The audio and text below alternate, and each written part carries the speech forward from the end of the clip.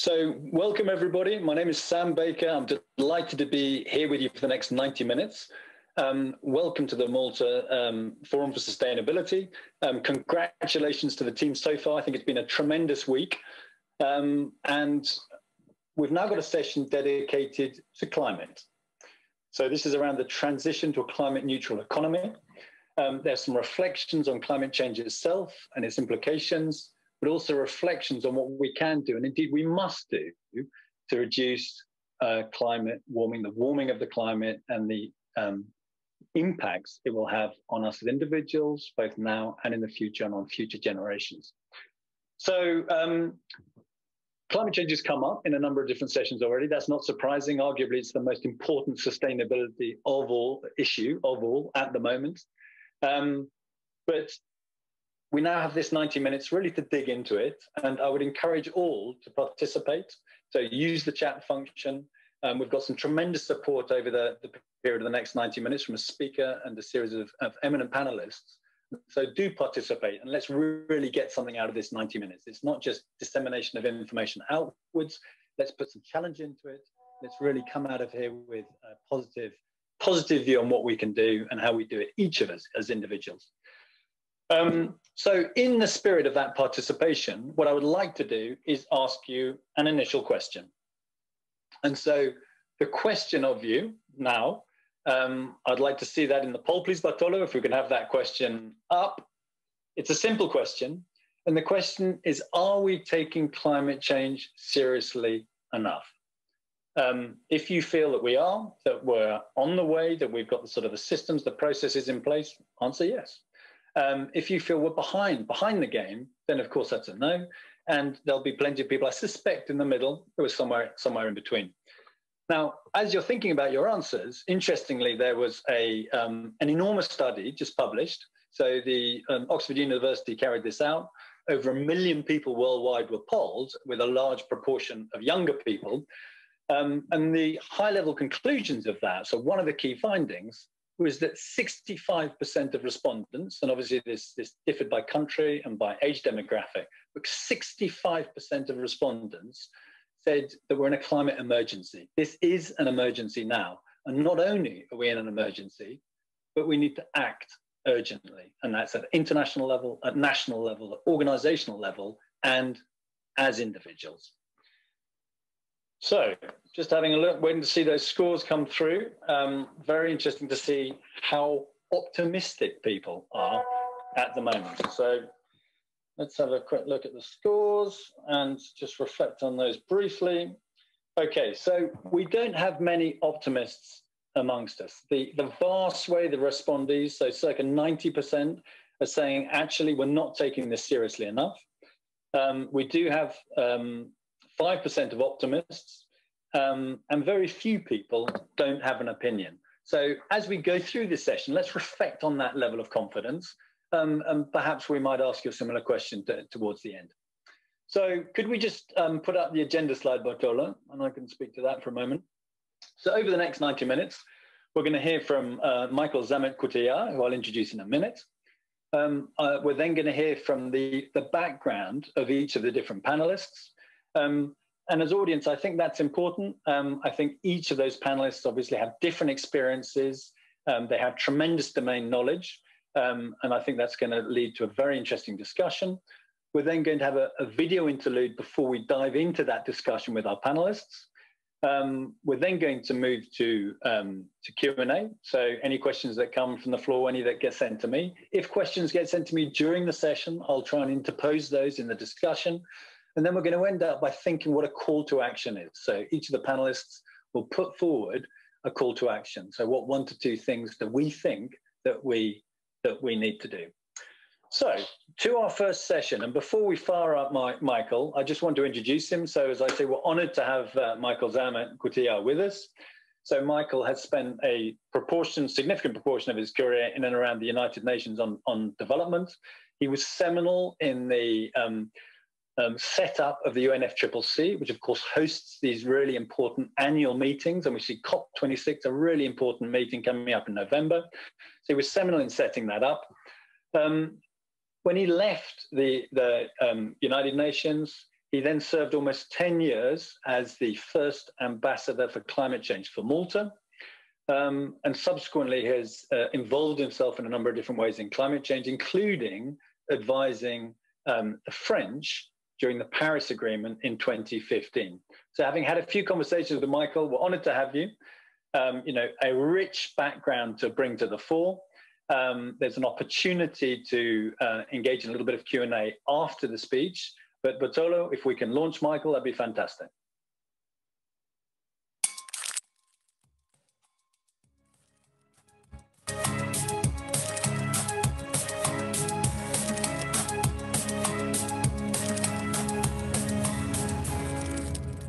You asked me to look back and forward. So, looking back, I take you to 1988, the year in which the Intergovernmental Panel on Climate Change was established, the year in which Malta, for the first time, put climate on the agenda of the United Nations General Assembly. So, the scientific track and the political track have the same starting point. On the scientific side, we soon learned that the contribution of human activity to the concentration of greenhouse gases in the atmosphere is not just a blip in the chart. Industrialization, deforestation, transportation, electrification, all fueled by fossil fuels, starting with coal, over the last 200 years have produced a big rise in CO2. And looking back at that over 10,000 years from ice core data, you get the hockey stick graph which you now have in front of you. The IPCC conducts scientific assessments. It's done five so far, the first one in 1990. It does not prescribe action, it does not tell governments what to do. It indicates the consequences of action and of inaction. It has very careful conclusions, it formulates very careful conclusions, and has been doing so with growing confidence, gaining greater acceptance although denial has not yet died. The key message from the last uh, IPCC assessment, 2014, is that we already have one degree centigrade global warming under our belts. The human influence on that warming is unequivocal and it is generally negative. The impacts are generally negative. There's a good video um, marked on the slide here worth watching. But I'd add one personal word here. The issue for the human species is not extinction. It is, if you like, endurance. The world will be harder because of climate change. Life will be tougher, especially for those who are now struggling with poverty. So, endurance rather than survival would be my key word. Moving to the political track, it's interesting to follow it with an eye on the United States of America. The big geopolitical issue over the last years has been attracting the US on board and keeping it there. This graph shows that the historical responsibility for putting CO2 into the atmosphere has been mainly over the centuries, or one and a half centuries, um, in the in the lap of the USA and the countries now making up the EU. Others, of course, are growing, but the responsibility lies there. And when negotiations started on the convention, the United Nations Framework Convention on Climate Change, started 30 years ago next week, um, this was a, a dominant uh, feature in the background. So the objective of the convention refers to danger, to prevent dangerous human interference in the climate. It says in a set of principles that developed countries should take the lead in responding to that danger. And it sets them an aim, not a target, an aim, this was a US requirement, to return their emissions to 1990 levels by 2000. That was the first step. The second step, building on the principle of leadership, was the Kyoto Protocol, adopted in 1997, under which developed countries accepted legally binding targets for limiting or reducing their emissions. A carefully crafted treaty with various flexibility mechanisms to lower costs it was made in the USA, but also broken in the USA because it never got sufficient political support to pass the bar of the Senate, and it was never sent there. It limped along without the USA for a while and is now nearing expiry.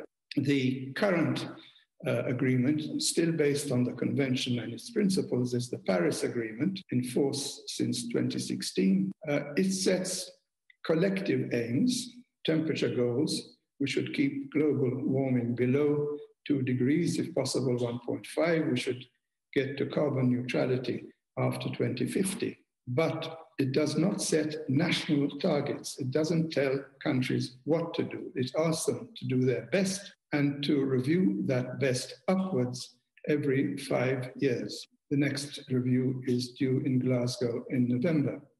The interesting thing here is that the Paris Agreement was very much based on an understanding between the USA and China. So the USA runs through this story and has just come back into it in a, in a big way. The current situation is shown in these numbers. Developing countries, the South, accounting for two thirds of global emissions, China, resurgent, China dominant among them, emitting twice as much as the USA, India with all its, with its billion, as much as the EU. But the more interesting political figures are in the column on the right, which give an indication of equity. If we should all aspire to equity in our share of the atmosphere, you can see that the North emits more than twice as much as the South, that China, while having overtaken the EU in emissions per head, is still way below USA and India, not the lowest in the world, but the lowest of the big countries, is down at the bottom of the table the geopolitics are very much conditioned by that. And I think the way I look at it, the, the geopolitical view of the world has shifted from this, where the US looks at, the, at Russia across the Atlantic, to this, where the US looks at China across the Pacific, with the fringe island no longer being Japan, but the UK. And another map, which is of interest, shrinking Arctic sea ice may explain why Russia has never been fully convinced about the urgency of climate action. Looking ahead, we can expect in this part of the world, Mediterranean, Southern Europe, more heat and less rain by the, over the remainder of this century. That is the signal that is being given to us. Where does this leave Malta, Malta, and the EU? The EU has put on the table a pledge under the Paris Agreement uh, that it will reduce its emissions by 55% below 1990 levels by the year 2030. It's already more or less halfway there, 24% down, but 30% to go over the next 10 years. The EU has said carbon neutrality, net carbon neutrality by 2050. What is the approach? The general approach nowadays is to move from looking at climate change as a burden to looking at the opportunities of doing things better making sustainability profitable, allowing or encouraging businesses to do well by doing good. The market may be going in that direction as prices of new renewable technologies, clean technologies drop, but the business may need incentives from governments to go in that direction. At the same time, it's important to make unsustainable practices, waste, if you like, costly through controls, through tariffs. And if you think about that in local terms, uh, that may not be politically or electorally popular. And within this evolving model of the EU, sustainable EU, possibility of border taxes to protect the model against competition from countries with lower standards it's a big it's a big issue. It has to be integrated with other big issues, notably the post-COVID recover better strategies that are now being developed. Looking back over the last 30 years, one of the lessons that has been drawn is that the strategy of a country on climate change should not be left in a ministerial silo. Typically, the environment ministry which tends to be a weak one, and a situation in which different ministries fight for turf. It should become an all government issue, and I think it should be in the lap of the head of government or close to her or him. Uh, the first issue before all EU countries, including Malta, is what is their share of their contributions to the EU target I just mentioned. Clearly, this is going up to the EU Council of Heads of Government. Second point, looking for energy efficiency as a way of reducing climate change emissions. Uh, it turns up in different sectors. Typical one is transport. We'll hear probably about electric vehicles and the infrastructure needed, but are we looking at investment in public transport? In, in our case, um, underground public transport and the Gozo-Malta link. Another area about, we will, about which we will hear is building. Uh, energy efficiency of buildings standards must be set, but are we giving enough attention to retrofitting old buildings to make them more energy efficient? Lots of jobs to be created there. And Another example, water, which for us in Malta is the scarcest resource. Are we desalinating water as efficiently as possible? But the big question is not sectoral, it is about the source of energy. Can the EU go beyond gas? The head of the European Investment Bank recently said gas is over. But is it? Is there the possibility that technological advances, for example, in carbon capture and, and storage, will enable gas to survive. Is green hydrogen an alternative? It now seems a very distant one, if it is at all possible. Will nuclear make a comeback? It does not emit into the atmosphere, but causes other problems. Are intermittent renewables, wind, waves, tide, an alternative is the issue of storage sufficiently clear.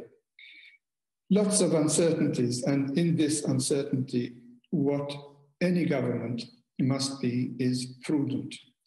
In our case, of course, we must get a better gas deal, but we should not hurry into investing in a pipeline. A pipeline to where? And we could also ask whether any consideration is being given to a connection to a wind farm in which we could invest in a nearby country in Sicily or South Italy.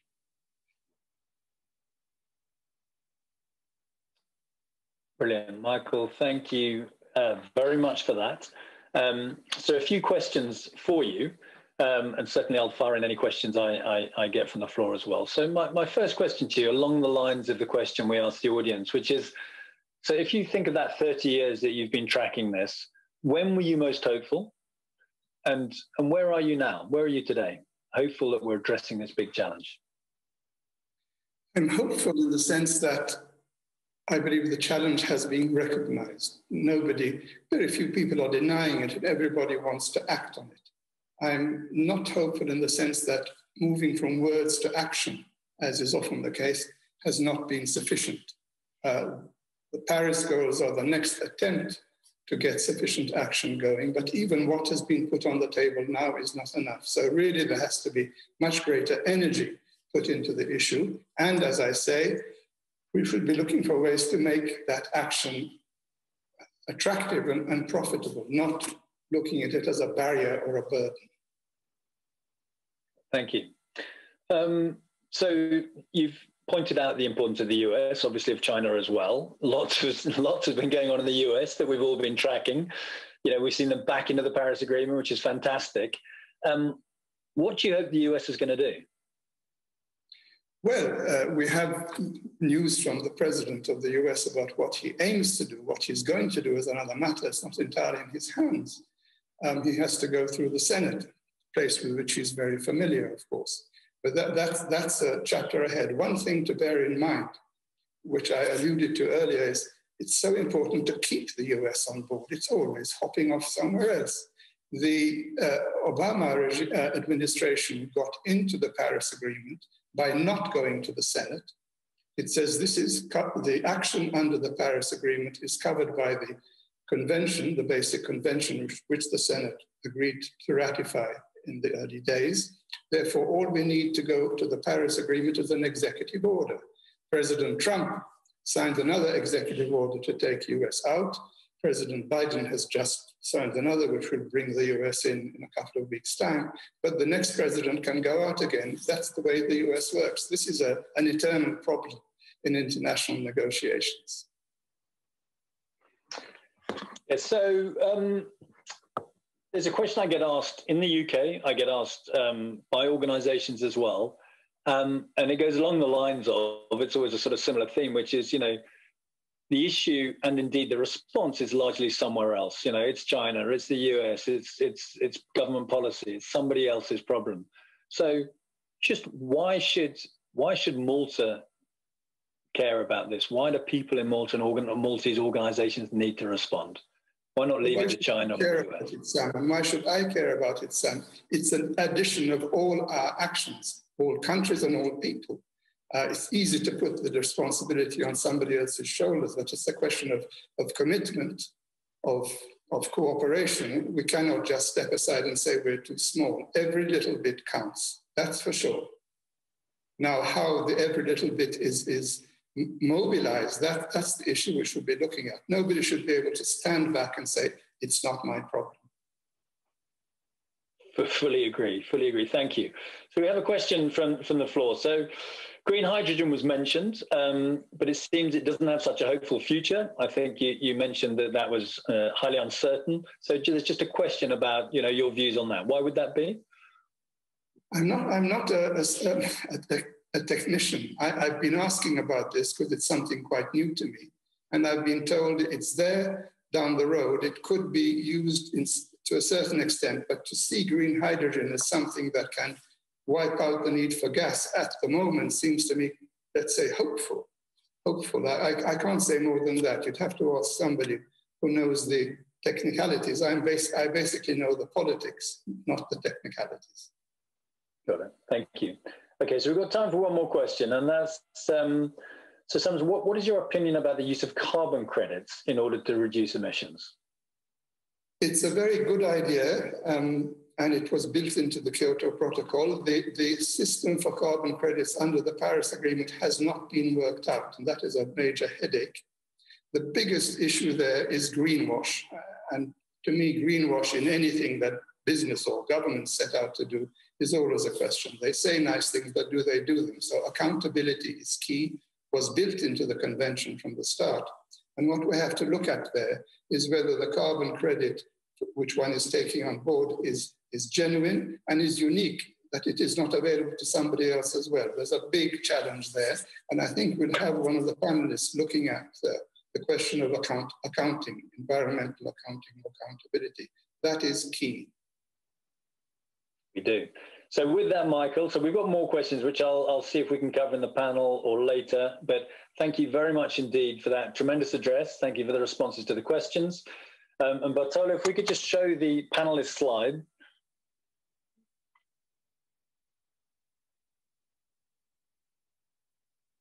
Thank you so much. So I'm going to ask the panelists to introduce introduce themselves, sort of, you know, why why are they here? Um, and what their background is um, very quickly. But uh, we'll start with Basima, we'll move on to Olaf, then David, then Mauro, and Jeffrey. Um, so thank you to the panelists. Sorry, back, back, thank you. Yeah, so thank you to the panelists. Um, and now perhaps Basima, you could start and we'll just go in that order. Then Olaf, then David, then Mauro, then Jeffrey. Okay, so Basima. Thank you so much. Um, Good morning, good afternoon, good evening, wherever you all are. Uh, my name is Basim Abdulrahman. I am the founder and the chief executive officer of uh, KESK. It's a green building consulting company that is based out of uh, Erbil, Iraq. We're the very first company that has been established to introduce the concept of green design and construction uh, to the country.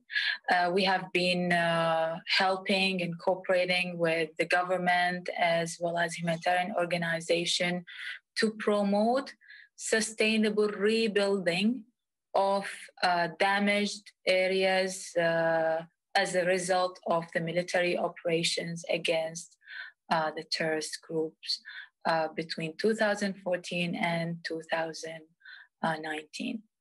So we have been working with the United Nations, with other humanitarian organization, also the government. We build um, the, we develop the uh, capacity of uh, government partners to help them take over the knowledge and expertise and apply it in their uh, perspective and geographic uh, locations. Um, we also uh, recently introduced a uh, product. We're a service company, but we decided that uh, because of uh, the never-ending electricity crisis in Iraq, that we launched a um, a solar AC product. It was tested successfully, and uh, this year we have mobilized the resources to um, to deliver uh, and achieve um, a broad commercial uh, distribution. Um, okay. And uh, that's that's all about myself. Great. Next up, please. Hi, good afternoon. Uh, my name is Olaf Zahra. I'm the Chief Officer for Technology and Sustainability for Toly Products. Uh, we are a cosmetics packaging company. So, uh, uh, as an industry, we've got challenges on two fronts from a sustainability perspective. Uh, one is we're dealing mostly in plastic, and the other part is the subject of today, which is greenhouse gases. Um, my background, my personal background is in uh, operations, so I tend to look at sustainability as an efficiency journey. Uh, when I look at it and when I study it, um, recycle, reuse, reduce are basically words which make a lot of sense both uh, operationally and from a sustainability perspective. And uh, they are true both from a sustainability perspective and from an efficiency perspective. So that is basically the way we are approaching this issue, both from a process, which is the greenhouse gas, and from a product, which is the plastic perspective. Thank you, Anna. David. I think it's me.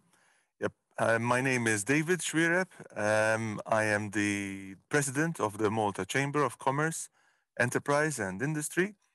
Um, essentially, my professional background is that of architecture. I graduated as an architect, moved into structural engineering, and developed into project management, leading uh, the largest uh, professional services uh, company in Malta relating to, to, to, the building industry. There was a very marked time in my life where I changed fascination of construction for the sake of technology and innovation to one uh, which uh, was primarily inspired by the need to respect the environment and uh, uh, uh, engage in efficient use of resources for anything that we do in life, including that of construction. Um, I spent a lot of time um, doing a lot of talk, um, campaigning for climate change, global warming, realizing that that, that was not impactful enough. So my current um, ambitions, my current work, my current time even as the president of the current uh, Malta Chamber of Commerce, is to be impactful and therefore to try and motivate and inspire changes in the general economy of our country to one which respects um, the resources um, of the country or the place we're in. Thank you, David. All Hello, everyone. Thank you very much. Can you hear me okay? Yeah. Um, lovely to, to be here with such a, amazing minds. I'm the co-founder and CEO of EmitWise. Um, we're a technology company. Um, I always say that half of our DNA is sort of disruptive Silicon Valley, and, and the other half is um, you know, a, a, European startup with deep roots in sustainability management and, and sort of expertise in that field. Our, our core area of, of focus is on building software that helps enterprises monitor, uh, reduce, and report their carbon footprint. But really, the vision of the world that we are focused on on creating is one where every business, every government, every institution can optimize for their environmental impact the same way that today we have to optimize for uh, costs, costs and revenues, and and sort of the financial metrics that that the world revolves around. Um, the, the way that we, we achieve that is by providing our customers with tools that allows them to understand where are they being carbon inefficient and where can they have sort of um, low-hanging fruit opportunities to both be more sustainable and ultimately help their bottom line as well. Um, so my, my background is I, have always been a technology entrepreneur. Um, this is my second company. Um, you know, I myself and our amazing team are, are well versed in the arts of using software to scale solutions really quickly. And, and that's what we're looking to do at Emitwise. We're looking to, as fast as possible, be able to get companies um, engaged with climate action. And so we're very excited to be a, a part of this forum in, in that regard. Fantastic. And finishing with Jeffrey. Good afternoon, everyone. I uh, introduce myself as Jeffrey De Bono, CEO of the Bono Group.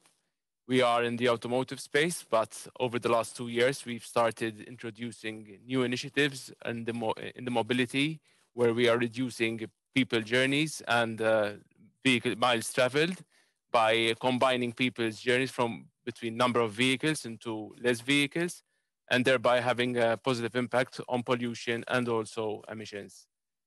We are also working at how we can develop our expertise of moving from an, just an automotive player to also a mobility player, to also develop this and internationalize and create technology solutions which can help other players in the industry to do the same that we're doing and learning by experimenting in a country which is small enough that can uh, give you reach to uh, many, many users and learn a, about the different customer needs and then be able to take it to much larger audiences. Brilliant. Jeffrey, thank you. Um, thank you all the panelists. So before we embark on a conversation with the panelists, um, we've got a short video interlude. Um, so that video interlude is, is taken from the Decade of Action. So it's a um, short series of, of clips that we've put together from the longer video, which you'll see on the on the website. I thoroughly recommend you go and see that. Um, it will reinforce some of the points that Michael have made and some of the things you hear later. Um, so something around climate change, its um, its societal cost um, and the direction of travel. Something about the impact on business, both now and and in the medium term and future why it should be viewed as a opportunity, indeed a profitable opportunity and support business, um, and then just something about hearts and minds at the end. So let's watch, let's listen, let's be inspired by what we see. So Bartolo, please.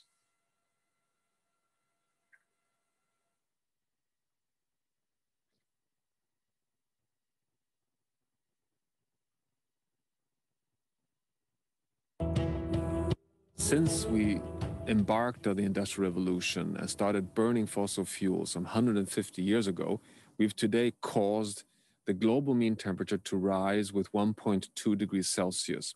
Now, 1.2 may not seem so much, but it's actually, we've reached the warmest point on Earth since we left the last ice age 12,000 years ago.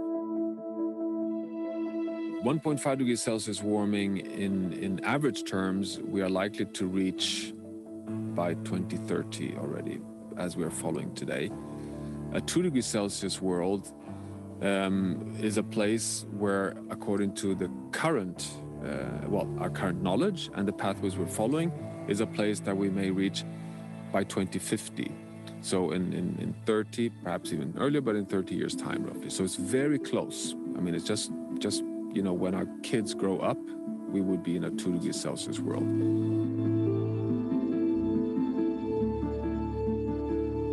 From the knowledge we have today, that would be a world where the, the, the, frequency of extreme events will increase dramatically. If we then come to three degrees, or even beyond three degrees, I call that very simple just a catastrophe point.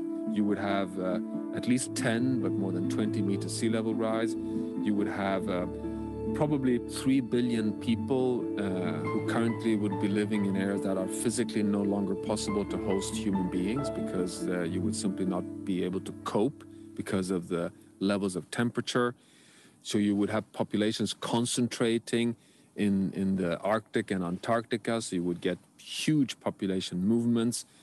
Uh, it's very questionable how we could feed humanity because we would lose so much agricultural land we would end up in a situation where we simply have a, a planet no longer in a, in a state that would be really, you know, adapted to, to support humanity.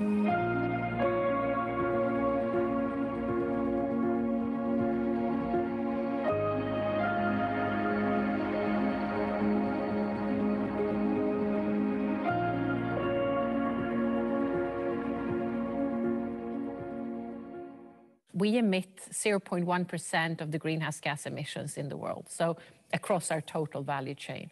So, and we know that climate change will have um, a negative impact on us. I mean, it already is in terms of stores closing with flooding or um, temperature increases impacting our energy bill. So already today it's having an impact. But even if I go to 2030, 2050, we know that if we head towards a three degree world, uh, it's going to heavily impact our, our business in the value chain. Uh, so we need to address climate change.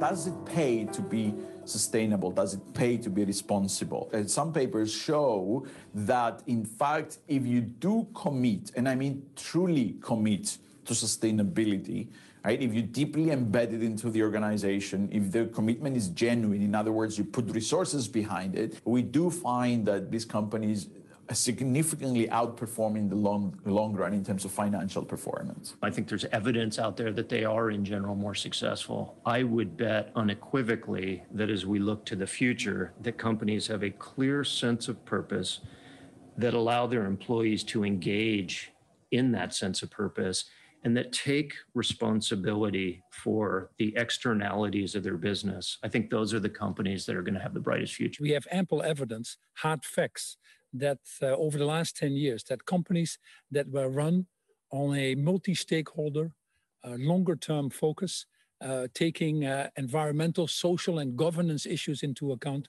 actually have a higher return.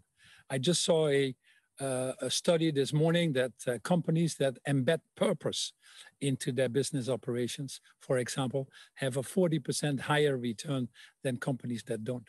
In the crisis itself, the COVID crisis, we've also seen that companies that have more embedded their ESG into their businesses and run these longer term stakeholder models have actually weathered the storm better. We're a retailer, we're a profit making company. We are not a charity. We're not here to you know to save the world. We're here to create a better everyday life for the many people through beautiful home furnishing products. That's what we do as a business.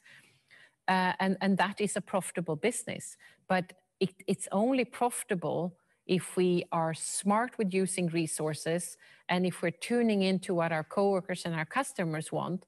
Because if you have a fantastic product that no one wants to buy, you're not a profitable company.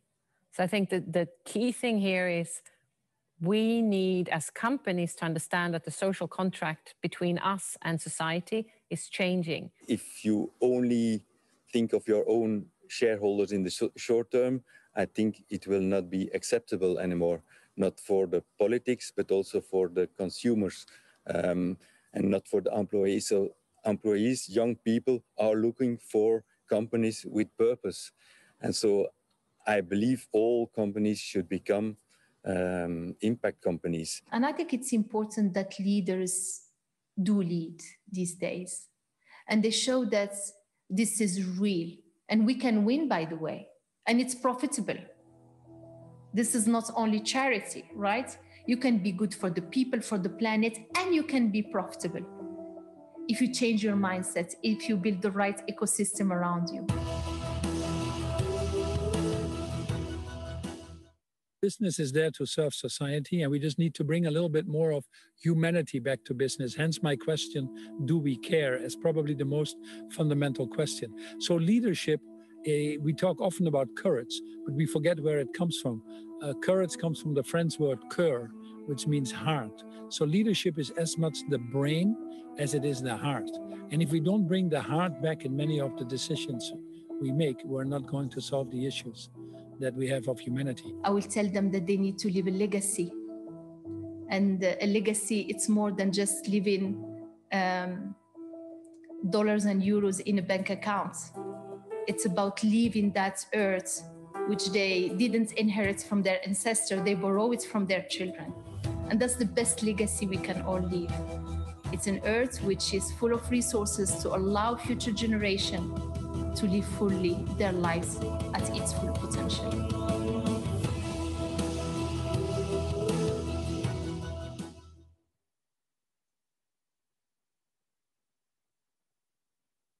Very good. So some really, really powerful messages in there. Um, I think our future is in your hands. So imagine that sort of painted on the hands of the children. Really, really impactful.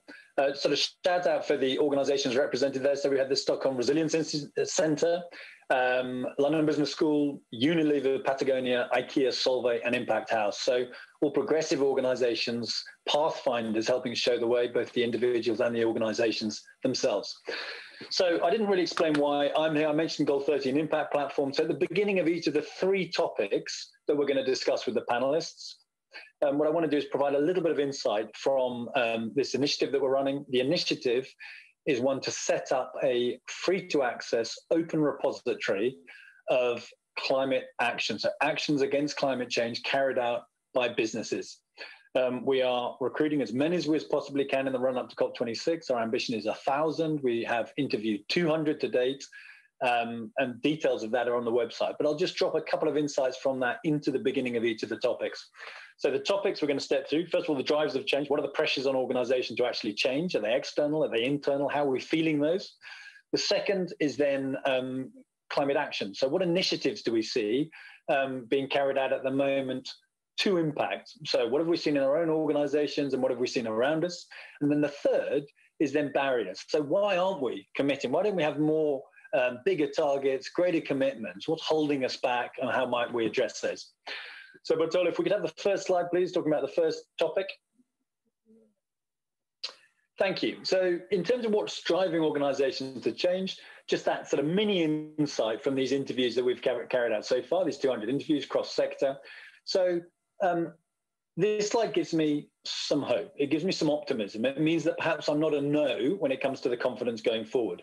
And the reason for that is because these those organizations have told us that it is actually business opportunity. So that's the code that Michael struck. That was one out of the, the video excerpts as well. It's actually business opportunity. It's the market. It's your business customer or your consumer, which is putting the greatest pressure on you to act.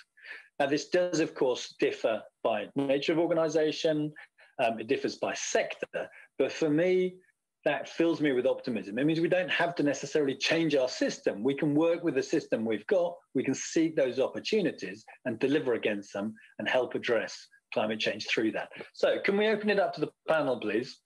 Um, and what I'd very much like to do, perhaps, is ask uh, Basma to uh, to kick off. So, can we just stay on this topic then, in and around drivers? So, what's forcing change? Is it internal and external? Where does it come from?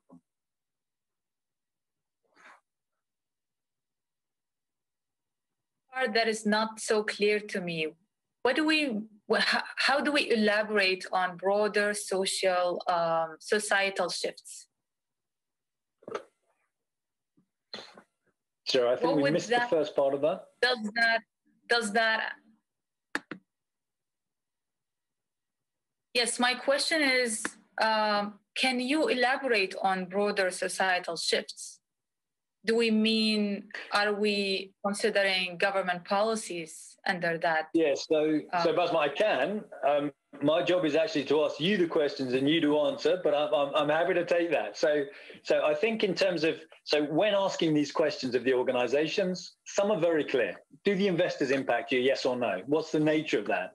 You know, can you sell into a market and create opportunity? But there's also this sense that the world is changing and moving, um, and it's not quite as tangible. It's not coming from one particular area, but people have got to move with the times. So that's the sort of that's the sort of qualitative sense of that particular driver. But the question to you um, is, what have you seen in the marketplace? What have you seen through your business in terms of the pressures that your clients and yourselves are under to deliver against climate change?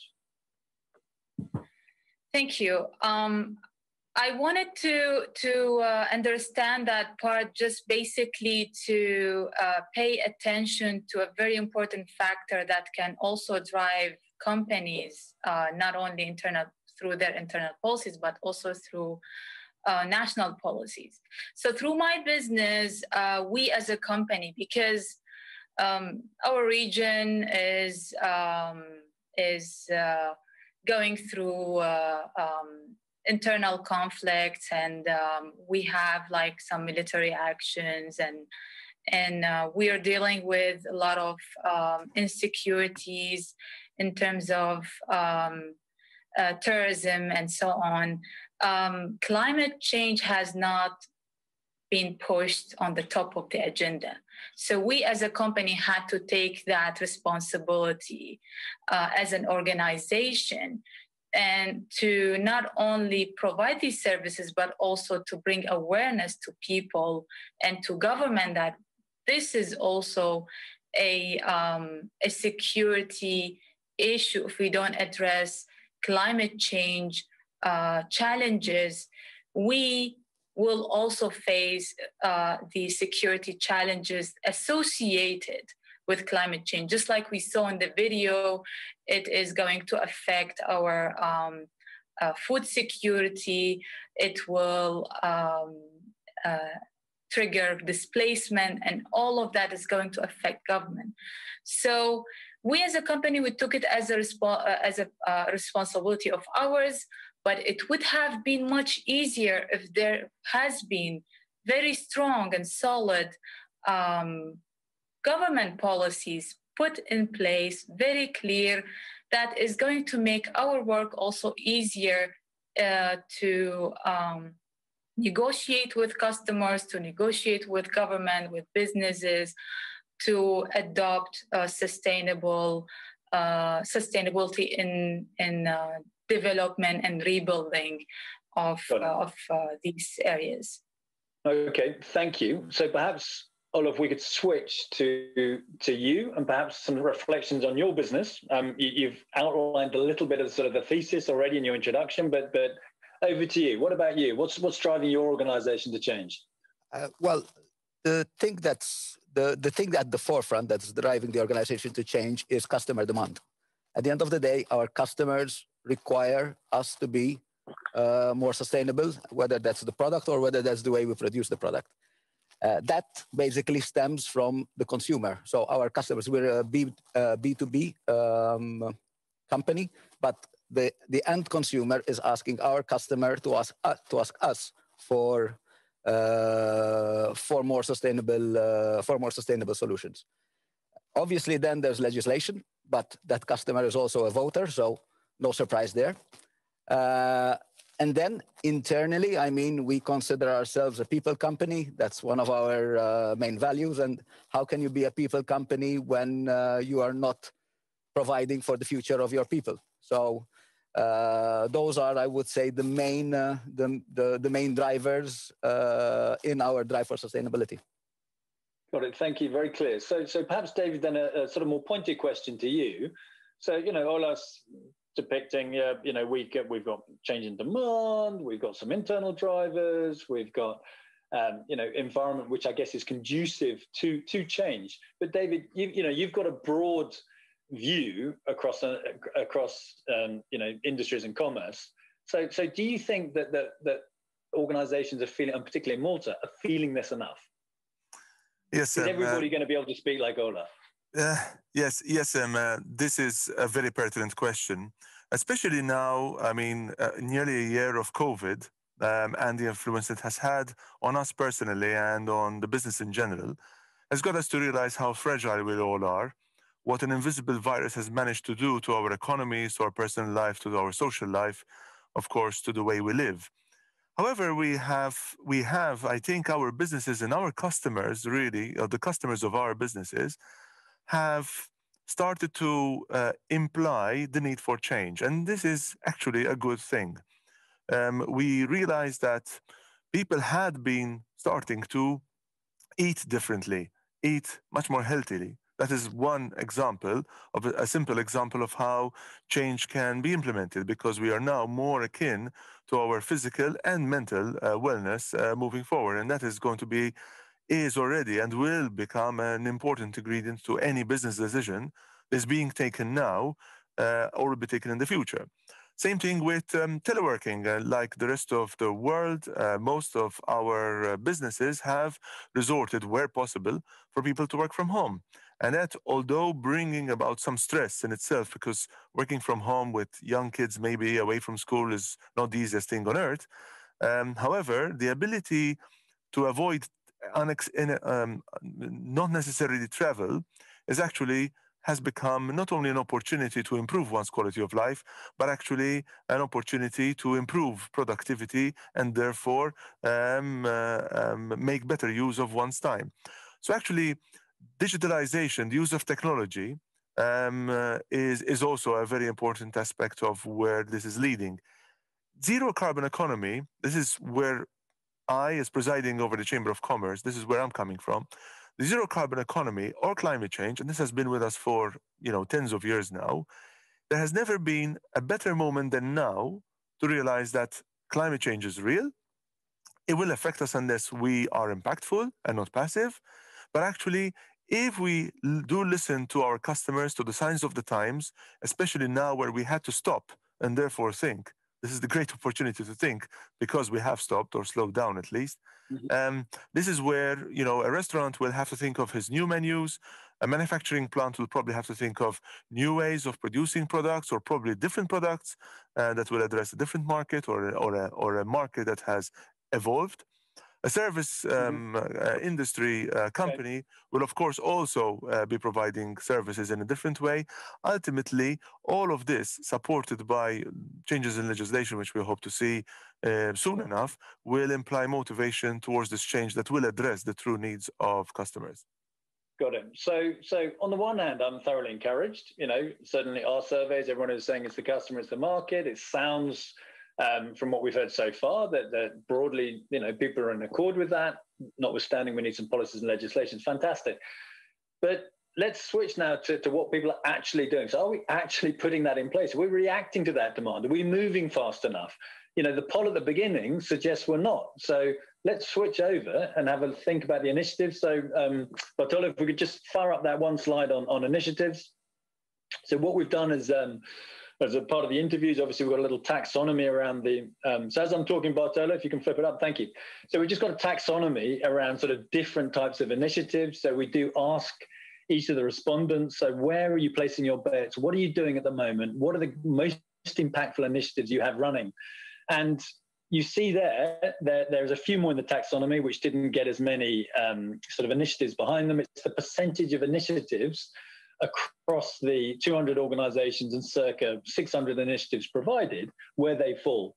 And um, unfortunately, the most important is, is arguably the most e- obvious and the most easy for many, not for all economies, but for most. So it's about low, you know, low carbon, and that might be uh, sorry, low carbon energy. So it might be the purchase of renewables, a new PPA, um, you know, a change in um, a, a, change in supplier. Um, and so, you know, that doesn't really speak to the customer. You might get some brand sort of halo around that. It doesn't really speak to products, services, you know, delivering a new a new mark to a new market.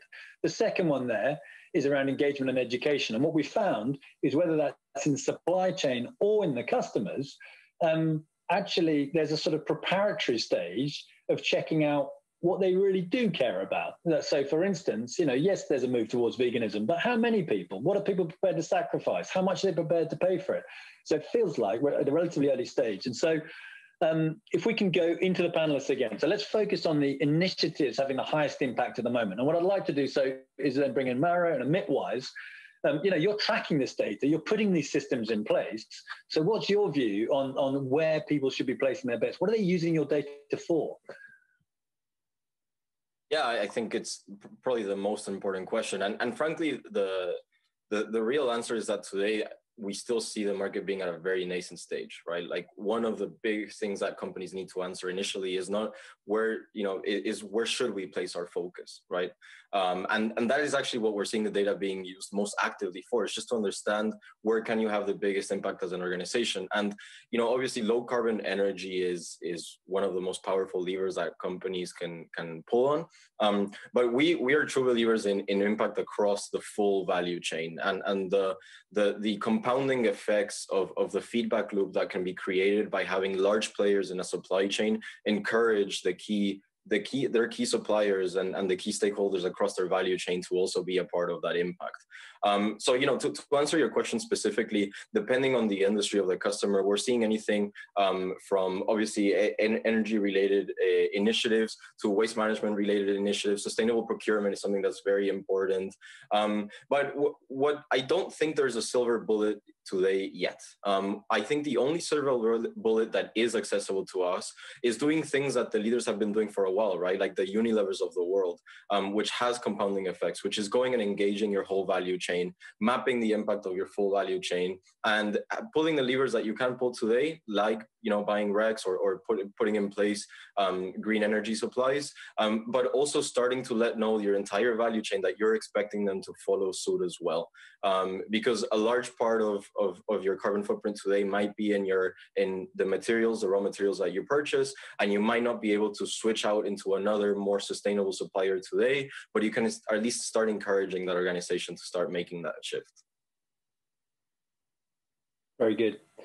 Um, and, and I suppose the you know the transparency that you know the underlying data and systems provide absolutely critical. You get the baseline, you get the understanding. I suspect it's quite difficult to do up and down your supply chain, but very important to to do that to know you're actually moving in the right direction. Um, so Jeffrey, can we bring you in then? So um, whether it's your what you're doing within your organization or what you're seeing, please. Let, so in terms of these these real actions which are making a difference at the moment. Well, clearly, transportation is uh, one of the major contributors of emissions around the globe. And uh, what we're seeing is that uh, customers are making more wise choices when it comes to uh, type of uh, vehicle that they choose or type of mobility service that they use. So when it comes to vehicles, we, sell already 80% of our vehicles, which are hybrid vehicles, which are emitting much less and uh, at certain key moments are emitting zero emissions because their engine is completely switched off. But then also in mobility services, customers prefer to use services which uh, are used by more than one person at one point in time because they know that uh, they are saving emissions, they are saving on cost. And given that we have a high percentage of users which are under the age of 30, we see that these people are much more intrigued by uh, the fact that they are making a positive impact on society and uh, on the environment overall. So uh, we are seeing a significant and marked change from uh, our customers towards more sustainable means of transportation. Very good. So um, if we can go to Basma again then. So given what you're doing, what, what, are, what are the things that you're doing for your plants which have the biggest impact on, on emissions? Where, where's the biggest opportunity? According to UN Habitat, Sam, uh, cities consume 78% of the world's energy and produce more than 60%.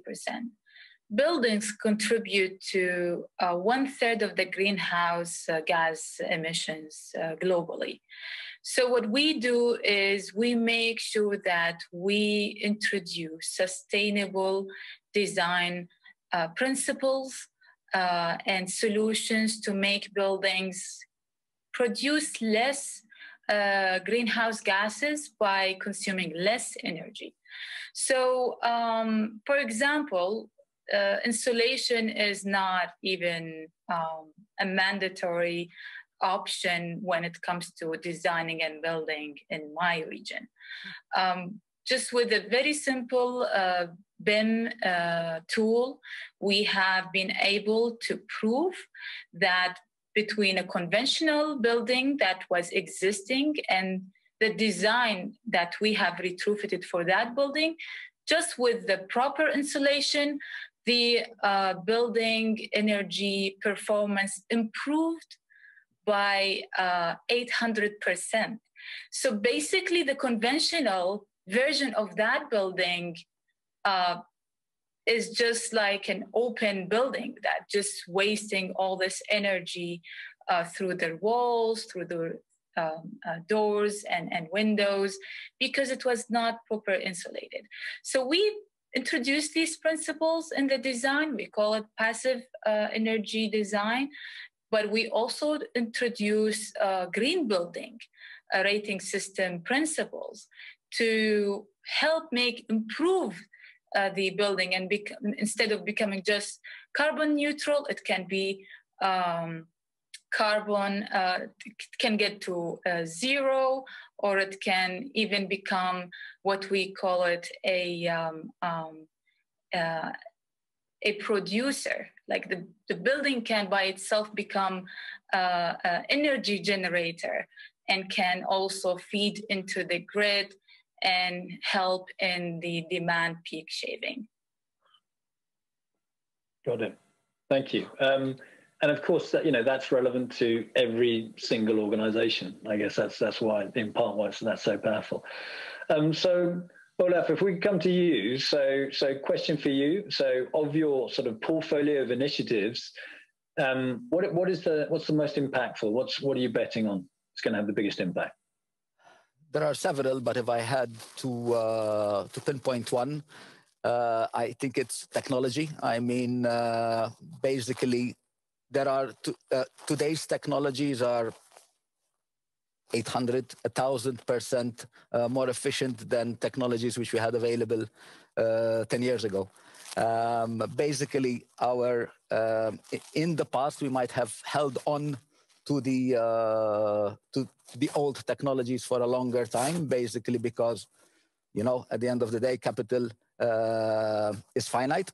But today, given that uh, there is a drive towards sustainability, there's a demand for sustainability. Uh, it's also driving us to replace our technologies. And uh, in most cases, I mean, the numbers are staggering. What uh, what what modern technology what what modern technology can do in terms of uh, reduction in carbon dioxide emissions, reduction in in energy consumption, therefore carbon dioxide emissions. Yeah, very good. Thank you. So um, let's move on to our final topic then. So, so obviously the you know the the portfolio of initiatives, as Mara said, there's no silver bullet, huge number of initiatives to, to choose from. But I think that that you know we could extend this panel for for hours, if not days, to discuss those initiatives. And there are many, many things that we can done and are being done and are being done. And so I think, you know, the sharing, yes, of course we need to catalyze it, but the sharing of those, I think, is a key opportunity for us to all galvanize change. So, just moving on to barriers. So, a number of people have mentioned policy already. So, in the interviews we've carried out, we do ask about barriers. We ask about the lessons learned. So, yes, in, in accord with some of the panelists already, the highest sort of the most obvious barrier that comes up is policy and regulation. And this is, you know, both within sector, it's cross sector, it's within country, and it's cross country. So, you know, that holds back investment people are concerned about that and point to that.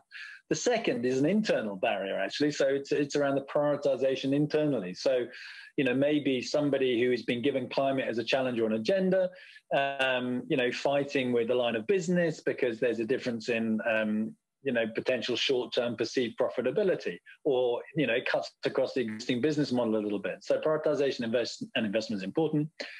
Um, just in terms of lessons learned, collaboration, I'm pleased to see, is a very important thing that's been brought out of this, and it's something that I continue to emphasize. Um, and then the final point is is just a plea, I guess, from from re- respondents to just enhancing all our understanding. So, you know, everybody talking to their families, talking to their employees or employers, talking to each other, their colleagues, their peers, so we all get as savvy, as understanding as we can about this broad issue. So, questions to that. So I'm going to go to David, please. Um, and David, you know, as you think about then barriers, particularly perhaps the, the lens of um, your role in the chambers of commerce, if perhaps you could go there. So, you know, what, what's holding people back, organizations back from big targets, ambitious targets, and really moving against them, not just leaving them out there 20 years? Uh, Sam, you're spot on. Um, the graphics that you showed us and the and the indications of what are the true barriers are pretty much the same here in Malta. Um, the only thing is, uh, from where I sit, I I try not to look at the barriers, but rather on how to deal with that. And frankly, living in a small country such as Malta, the ability to change uh, or to or to change those barriers into opportunities are not as hard as we think. I certainly see an engaged regulator, an engaged government who understands that climate change and zero carbon economy is the true opportunity of economy and business. Of course, there is the need for intelligence, for know how, for ways of how to crack that code to ensure that there is enough engagement.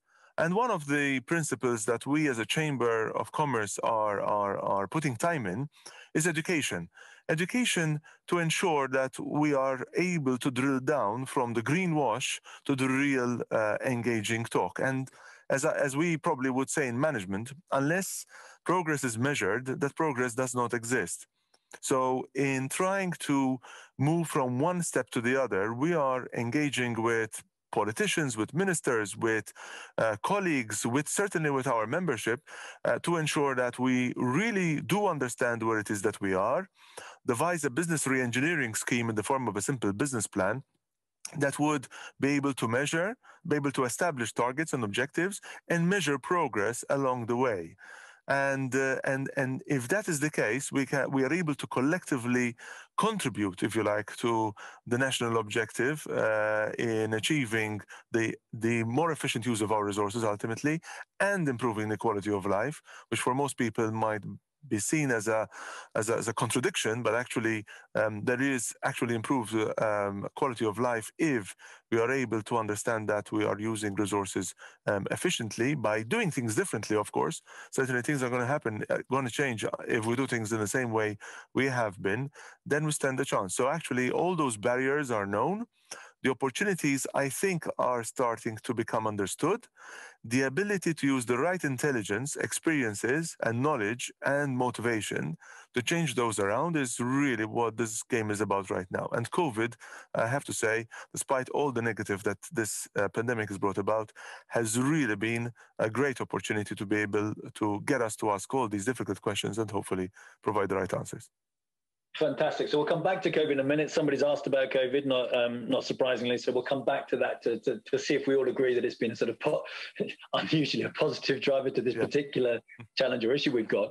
But that, David, you have been asked a specific question by somebody in the audience, and that is um, that's really around whether or not you'd recommend that government procurement then um, you know there are more clauses um, and, and, stipulations and conditions around um, government procurement which means that people, you know, they will only buy if the product is green or certified or whatever, and, and, and climate change, um, you know, adherent, if you like. So, what what's your thought on that? Thank you for that question. This question comes in a week where our Chamber of Commerce has just launched its public procurement document, so a document related to good governance, really. It's not to do with the climate change, it has to do with good governance. And it certainly engaged us to speak to anybody um, involved in procurement, including the government entities and also private enterprise. And whilst talking about good governance, I, I delved into green uh, procurement and how we are going to, able, going to be able to push up the numbers of true green uh, procurement. I say through, we really need to um, uh, understand, and the Vice, we're actually going to start working on this um, um, Minister Dalli has committed herself to this. The Director of Contracts has also committed to this in the last couple of days, and we hope to be able to be able to measure services and products that are able to provide um, green contribution or reduction of carbon uh, footprint in, in doing so, and having a list of service providers and product providers that you know anyone procuring products or services are able to choose from and able to measure what contribution that kind of procurement can give to the company whose business plan and whose objectives are those as well of contributing to the green economy. So, whilst legislating in favor of this industry and, of course, focusing on the targets, we'll hopefully be able to have the tools and the right incentives to be placed in the right, uh, uh, to have service providers and, and, and, and product providers in the right, given the right platform to be able to be measured in the contribution to the solution. Excellent. Thank you, David. So perhaps I can go to Jeffrey and then back to Mauro. So, Jeff, um, Jeffrey, I suspect that um, you know your ambition is quite difficult to realise. So, what what barriers are you facing that need to be vaulted, vaulted, well, jumped over? Okay, so clearly regulation, customer engagement, and others are uh, uh, barriers which uh, which need to be overcome in our case, uh, we we do our, a lot of work as a business to understand what is the what are the real needs of the customer, and what we understand them to be are peace of mind and ease of use and ease to access the service. So uh, what we will be launching uh, throughout 2021 are uh, bundles where customers can have a, their own vehicle, but on certain days of the week, could be on the weekend or on during the week, based on the needs of the user, to have access to a mobility services, mobility service under one monthly payment. So that will make it much easier for people to use more sustainable means of transportation rather than uh, their vehicle on a, on a, day-to-day basis and uh, get from one place to another without having the uh, inconvenience of finding where to park or getting stuck in traffic. So um, we believe that if by one understanding the customer needs better, one can design solutions that meet and exceed those needs. Great, thank you. So, so Mara, coming to you. I mean, Michael, in in his address, talked about the importance at a national level of figuring out, you know, st- you know, where do you start? You start out by figuring where your, what your emissions are, what share of the cake, and, and sort of where they are. So, you know, presumably that's what you help organisations do. So, so is it a barrier? Uh, you know, are people finding that easy to do? Is that sort of actually understanding of, of their footprint and what they do about it, and indeed their handprint? Is, is that a barrier at the moment, or do you think we're addressing that nicely? No, I mean, um, certainly it's it's the reason that we exist as a company that it is indeed a barrier, and, and frankly, there's quite a large market gap there. Um, and and the pl- problem is not that just that it's a complex uh, problem to tackle. You know, for an organization to try to evaluate, almost audit their their environmental impact. Um, you know, it, it's in in itself it's a hard challenge, um, but it's also just a very a messy um, a field um, that most organizations are not necessarily really educated in, in what are the solutions available to them, what are what are the steps and the timelines, how long does it take to understand where you are today, and, and how long will it take to to get to where you need to go. Um, and, and so we spend a lot of our time uh, educating prospective customers as to why they might want to take one approach or the other. You know, um, in our world, it's still very traditional to, in certain cases, use consultancies to, to have come in and do these environmental audits of your organization. And, and that has its time and place. And, and in certain cases, it, it's very powerful.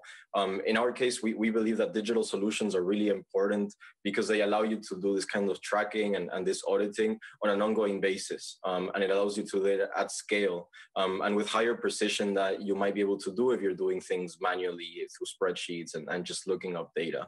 And, and so it, it, it is hard. Um, it, that being said, there are solutions. And, and one of the biggest struggles that, that these organizations still have is just understanding what is the solution that they need today and what is the solution that they're going to need over the next 10, 20 years as they start going through that sustainability journey. Okay, thank you. Okay, so we, we can't duck the, the conversation, not least because um, three of the panelists are wearing masks. I noticed that, David, you got a very super mask. So, hmm. but we can't duck that. The questions come from the floor as well. Um, you know, clearly there are some dynamics that have come from that crisis around technology, for instance, which to some extent could be said to help. But could we just reflect on that? And the question that, that came from the floor was given the current COVID situation, has this affected our progress to be carbon neutral by 2050? So, on balance, good, bad, or why? So, if I could go to, um, let's go to, so Basim, back to you, please. Do, you want to provide a view on that? Basima? Can you repeat the question, Sam? So COVID, COVID, good or bad for climate change? Um, I have talked to a climate change expert uh, previously, um, and uh, definitely in the time where most of the cities were under lockdown, um, it was clear that uh, the that COVID has created some uh, change in, in, in uh, human behavior in terms of the consumption of energy and having to use transportation and and no need for using educational institutions and um, and business buildings and so on. So this has somehow contributed to um, reducing the the uh, the consumption of energy and uh, thus the production of greenhouse gases. But that was not uh, big enough or it was not sustainable or continuous because we had to go back and most of the cities are uh, now open and people going and um, they they they are going back to their normal lives so there there is the the positivity here everybody has emphasized this is that um, we are able to adapt we are able to change the way we want to uh, live, work, and educate. So this was a very uh, positive message that was delivered to us uh, through the pandemic that what we have considered impossible in the past uh, that we cannot use the same building to live, study, and uh, work it is now possible. And and this can change also the way even post pandemic that the way we work and study in the future. And this would also have positive impact in terms of how much energy we have to consume. And whether there is a need or or no need to expand our development. Maybe we can use the same same buildings for different we, we can create this, the same concept of multi-purpose buildings where we don't have to increase carbon footprint uh, by you know buildings uh, uh, or constructing new buildings. We can just you know uh, use same existing buildings for mul- for different uses. And this was uh, proven to us that it is possible. And I would consider that uh, something positive uh, that brought uh, to us by the pandemic. Okay, well, thank you. And I, and I think that the sort of the, the longer, you know, speaking from a country which has just seen over 100,000 people die, um, sadly, you know, the, the crisis nature of this um, you know, is almost overcoming, the, you know, the build back better, the thoughtfulness, the planning, the opportunity for innovation and change. And it feels like we have this, you know, we have this opportunity right now to try and influence right now, not sort of tomorrow, the day after, try and influence how some of that sort of investment reinvigorates, how that goes. If we, if you know, but the, the concern is it becomes um, so challenging that the only thing you can do is try and you know reignite economy in the same way that it was running before. So I think we're all observing that, and it all works in different ways around the world. It's just uh, you know with every extra day, a month, an extra extra death, it just um, you know it, I think it becomes that optimism of build back better. Um, you know begins to become a little bit more challenging. So let us all do what we can to try and push that in the right way. So we've got 30 minutes left. So what I'd like to do now is move to this sort of call to action. So I'll ask each of you, say, so you know, you could call upon, you know, the world, the government, an organization, yourself, um, us all as citizens, but the call to action. So what what do you want to call, who do you want to call upon and to do what? You have, it's in your gift. So um, let's start maybe with um, Olaf, then do Def, uh, David, Mara, Jeffrey, and then back to you, Basma. So it's in your gift. What are you going to ask for? What's the call to action? Well, I have a generic call to action, although at the end of the day, I think it's got to be the uh, uh, it got to be government which really drives it. But for me, uh, what we need uh, in order to move forward in our sustainability journey is education. I think at the end of the day, it's the individual who is going to make the difference. We see today that there are more people who are aware that we have a problem. And I think we need to have more and more, and they need to understand the extent of the problem. I mean, if we want to be honest, I think if you look at it, uh, carbon dioxide emissions are uh, coming from uh, mainly from uh, electrical consumption. And today, the majority of people look at, an electrical, as, at electrical consumption as an expense. So if I can afford it, I will do it. If I'm not paying for it, so what? I think uh, there needs to be a groundswell movement at the grassroots level, which basically educates people that, listen, if you're over consuming, you're actually causing damage, and this is what the damage is. For me, that would be the most powerful uh, instrument, the most powerful thing that, that could happen. And that's, I think, what we need to make happen. Thank you. David.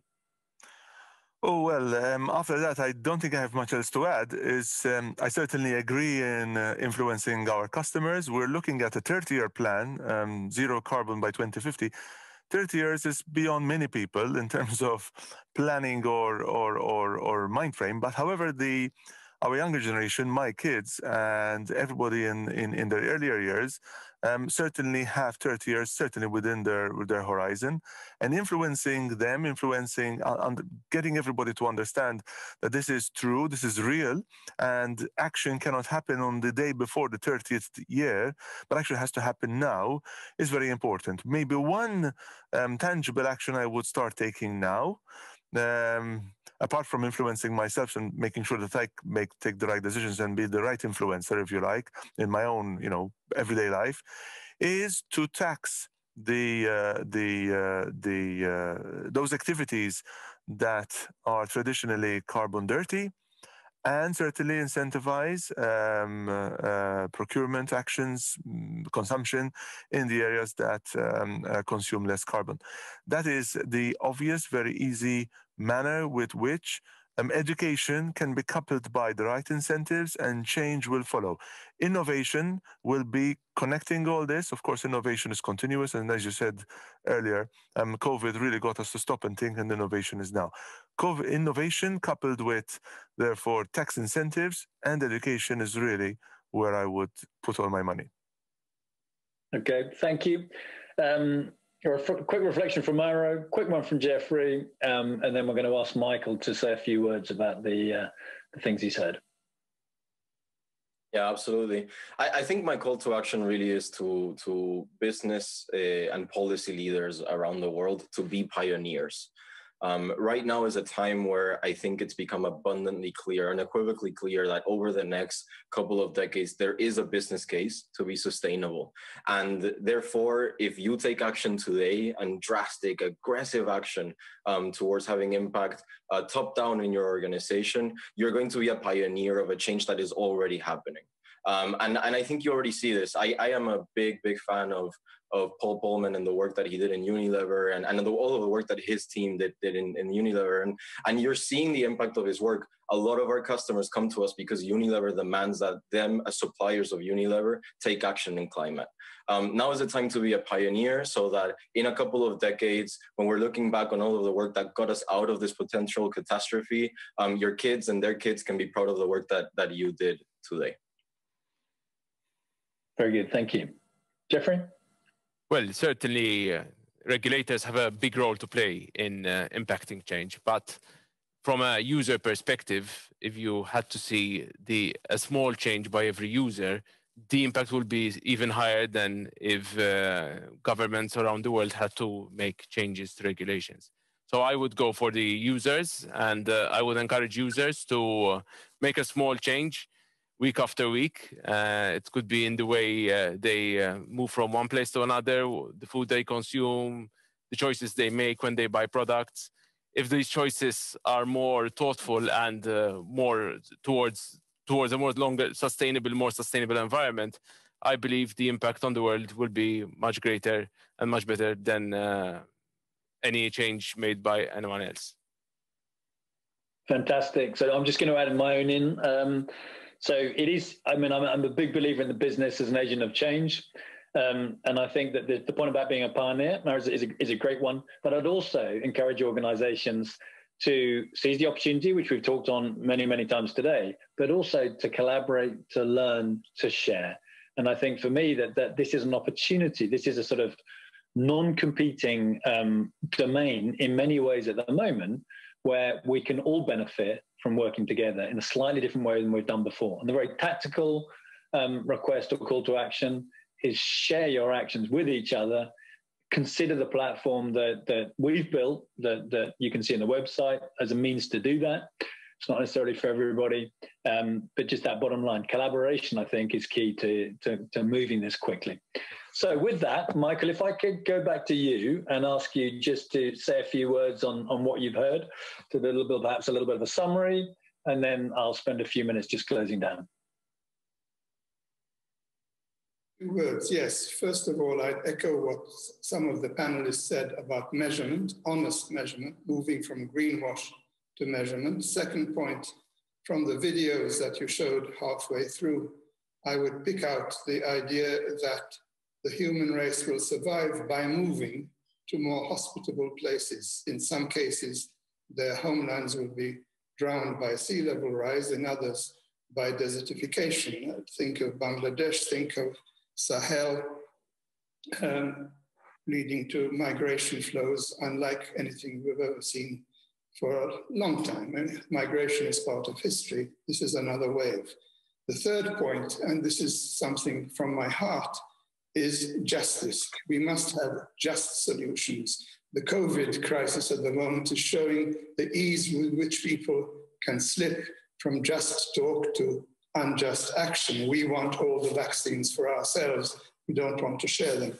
So justice in that workers whose jobs disappear because of moves to sustainability must be given opportunities to find other jobs, just transition. Justice, as I said, for people whose lands will disappear, and above all, justice for poor countries who are presently needing more energy to help their people out of poverty. And you can't just put a lid on global emissions without giving them space. I'm thinking here in particular of India or the Indian subcontinent. And um, the and sub-Saharan Africa, especially the Sahel belt, threatened by desertification. And perhaps a, a last point which when I was in the negotiations, I always spoke about my grandchildren. These grandchildren are now have grown up quite a bit, but they're still my grandchildren. And they are living in democratic countries. If you think about the tension which we now have between democracy and authoritative planning, if you like, I won't name names, the question to democracies is can the leaders of democracies think beyond their electoral noses? Can democracies generate action towards the interests of the future generations unborn with no vote? Mm. Very good. Michael, thank you. Um, so as we come towards the close, um, let us just run that poll again. Hmm. Uh, Bartolo, what I'm hoping is that we might see a little bit of a pickup of, of confidence given the many things that we've heard now. Of course, we've heard some of the concerns and challenges, but I think we've also heard a fair amount of action. Um, so let's let's have a look at that poll, and then um, I realise actually, Basma, we didn't ask you for your call to action. So perhaps as people are filling out the, the poll, perhaps we could come to you and get your call to action um, let's hear the results of the poll, and then let's hear the results of the poll. So please. Sure, Sam. Uh, my call of action is so very simple. It's taking responsibility, whether uh, through political will, showing political will by government, or us businesses taking responsibility not to wait for the massive amount of people and, and, and customers to make the decision for us. Customers are usually relying on us on providing the most sustainable solutions and services and products to them. Um, and also as individuals, uh, when we go, we, we, we procure any product, any service, uh, we think sustainably, we think green.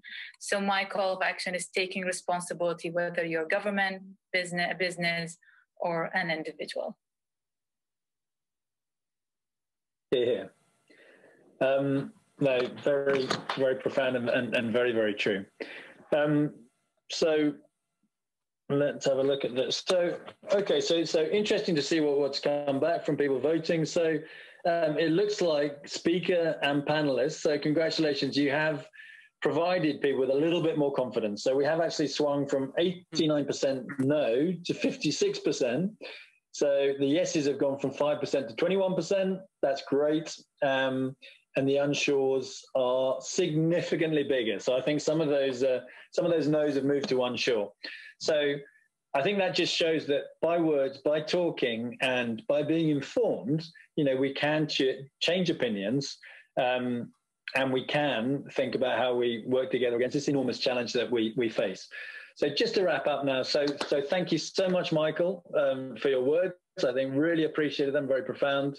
Thank you so much, panelists, for making yourself available both before this and during this.